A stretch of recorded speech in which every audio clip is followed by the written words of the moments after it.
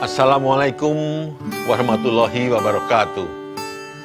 Bang Jateng mengucapkan selamat Hari Raya Idul Fitri. Mohon maaf lahir dan batin. Wassalamualaikum warahmatullahi wabarakatuh.